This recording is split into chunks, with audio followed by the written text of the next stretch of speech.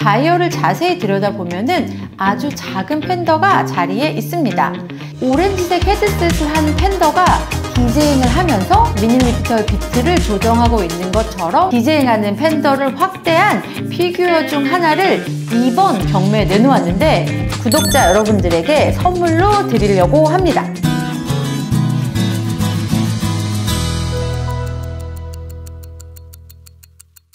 안녕하세요. 시계 채널의 이은경입니다.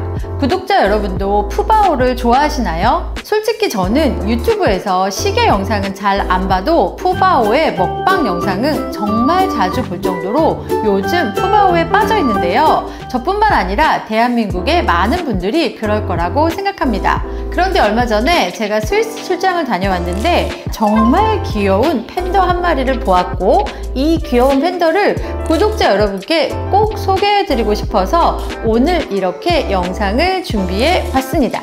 시계 유튜버가 갑자기 무슨 팬더 타령인지 궁금하신가요? 그렇다면 채널 고정입니다. 오늘 저는 살아있는 팬더가 아니라 팬더 모티프가 들어가 있는 시계를 소개해 드릴 예정입니다. 그리고 오늘 소개할 시계는 스위스 독립시계 브랜드 모저엔씨와 MBNF가 함께 제작한 모저앤씨 MB&F 스트림라이너 팬더모늄이라는 시계로 다이얼을 자세히 들여다보면 아주 작은 팬더가 자리에 있습니다. 이 시계는 지난 6월 말에 2023년 온니워치 에디션으로 처음 공개가 된 시계인데 시계가 아니라 팬더가 그려진 포스터로만 공개가 되면서 사람들의 궁금증만 증폭시켰었습니다. 저 역시도 아니 도대체 저 팬더가 시계에 어떻게 들어간다는 거지? 라는 생각을 했었는데 8월 말에 열린 제네버 어치데이에서 시계의 온전한 모습을 드디어 공개했습니다. 시계의 모습은 지금 보시는 것처럼 모저 NC의 스팀라이너를 기본 베이스로 하고 있으며 모저 NC 단독으로 만든 것이 아니라 MBNF와 함께 만든 것입니다.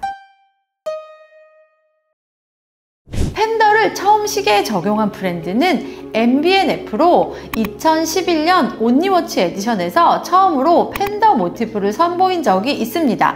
그리고 2021년에도 MBNF는 온니워치 에디션에서 팬더 모티프의 시계를 선보였습니다. 그런데 구독자 여러분, Only Watch가 뭔지 혹시 모르시는 건 아니시죠? 2019년 11월에 시계 채널에서 360억 원짜리 파텍 필립 시계 영상을 올린 적이 있는데 지금까지도 기록이 깨지지 않은 360억 원짜리 시계가 탄생한 그 경매가 바로 온니워치 경매였습니다.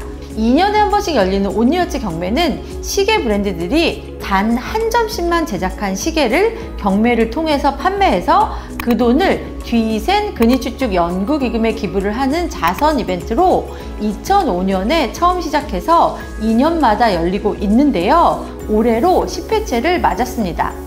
다시 팬더 이야기로 돌아와서 MBNF가 온니워치 에디션의 팬더 모티프를 여러 번 사용한 이유는 뒤센 근위축증의 환우들 대부분이 어린이들인데 어린이들 중에서 팬더를 싫어하는 사람은 거의 없고 팬더는 희귀병을 앓고 있는 아이들에게 희망을 줄 것 같아서 팬더를 선택했다고 MB&F의 막시밀리안 부세 CEO가 말했습니다. 사진을 보면 2011년에는 팬더가 우주선을 몰고 가는 것 같은 모습이라면 2021년에는 손목 위에 귀여운 팬더 한 마리가 앉아 있는 것 같은 모습입니다. 그리고 올해에는 Moser & Cie와 협업을 해서 더욱 귀여운 팬더의 모습을 표현했습니다.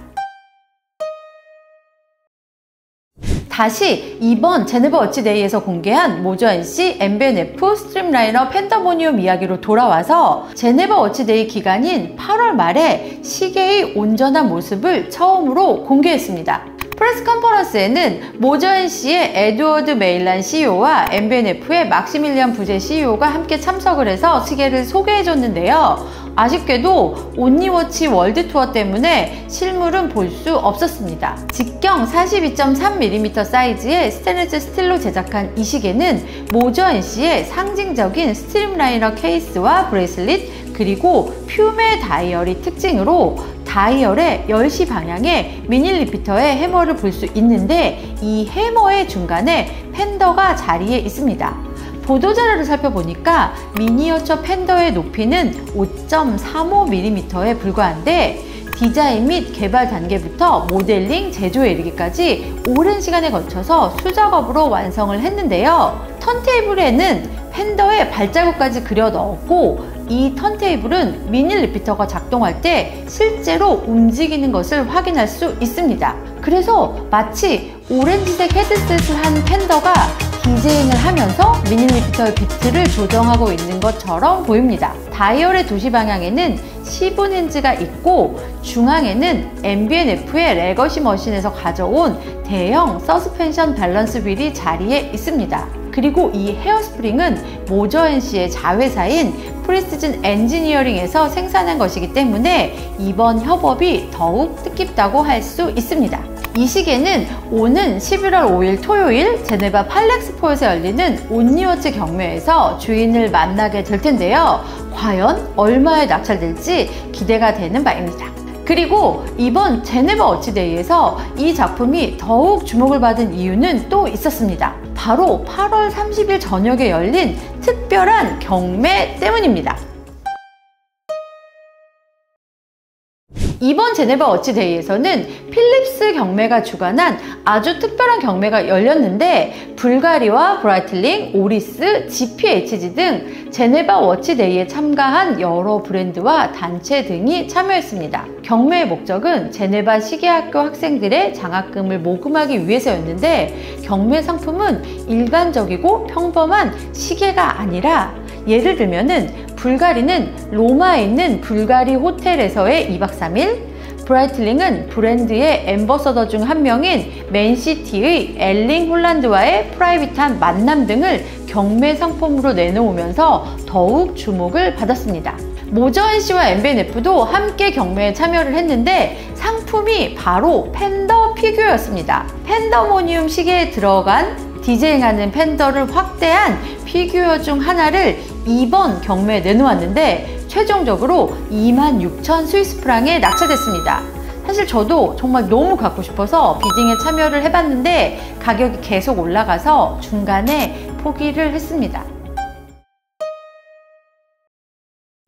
시계에 대한 더 자세한 설명과 올해 제네바 Watch Day에 관한 내용은 9월 말에 나오는 몽트르 코리아 10월호를 봐주시면 더욱 좋을 것 같습니다. 그리고 제가 이번에 정말 팬더 피규어를 너무너무 갖고 싶었는데 끝까지 경매 bidding에 참여를 하지 않은 이유는 바로 이 작은 피규어가 이미 있었기 때문입니다. 이번에 Moser & Cie와 MB&F의 프레젠테이션을 듣고 또 Only Watch press conference에 참석을 했는데 이때 바로 이 팬더 피규어를 선물로 받았습니다. 하나는 제가 갖고 하나는 시계를 좋아하는 지인께 드렸고요. 그리고 나머지 하나, 이거 하나는 구독자 여러분들에게 선물로 드리려고 합니다. 이 영상을 보시고 댓글을 달아주시고 내용에 있는 링크에 이벤트 신청을 해주시면 이벤트 참여가 완료됩니다. 시계 채널 구독, 좋아요, 댓글, 알림 설정 꼭 해주시고 이벤트 참여도 해주시길 바랍니다. 감사합니다. 안녕!